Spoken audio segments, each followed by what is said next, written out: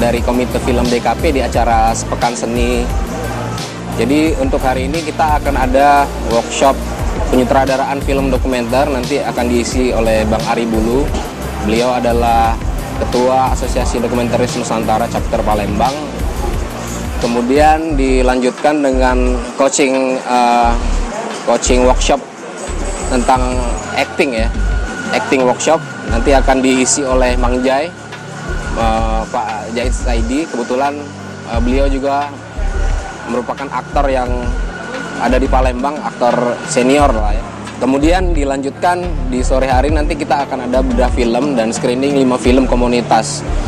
Uh, komunitas yang ada di Palembang ya, film komunitas yang di Palembang nanti kita akan uh, screening 5 film sekaligus kita akan bedah di situ. Ada dilanjutkan di sesi terakhir nanti kita akan ada pemutaran film Ketangen. Oke, kenapa kita memilih uh, workshop dokumenter? Karena memang peminat film dokumenter di Palembang masih dibilang sangat sangat minim ya dibanding dengan film-film fiksi. Shop tentang uh, acting ya, workshop acting. Acting. Kenapa ini perlu? Karena memang kita masih kesulitan, terutama anak-anak uh, fiksi ya, film-film fiksi mencari talent-talent di Palembang ini aktor dan aktris ini karakter yang tipikal karakter film masih sangat susah. Makanya kita hari ini adakan workshop tentang acting. Salah seorang aktor lawas, Jahid Saidi, menjadi saksi perkembangan film dan akting di Palembang. Jahid Saidi berusaha menggambarkan cara berakting dan langkah ke depannya perfilman Indonesia.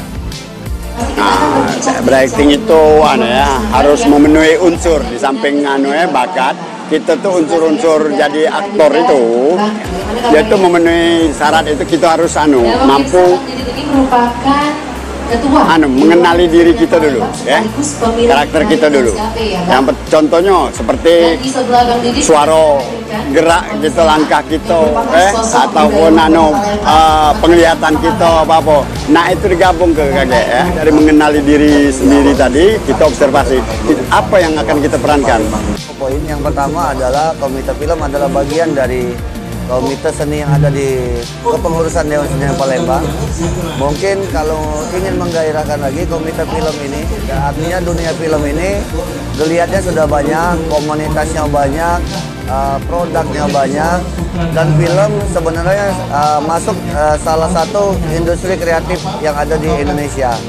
Jadi industri kreatif itu ada 16 subsektor, salah satunya adalah film. Dan artinya pelaku film, komunitas film, dan produk-produk film yang ada di lokal di Palembang harus kita coba gali terus potensinya, harus kita kembangkan terus sampai kalau bisa uh, hasil film produksi sinias-sinias lokal yang ada di Palembang uh, makin dikenal oleh banyak orang.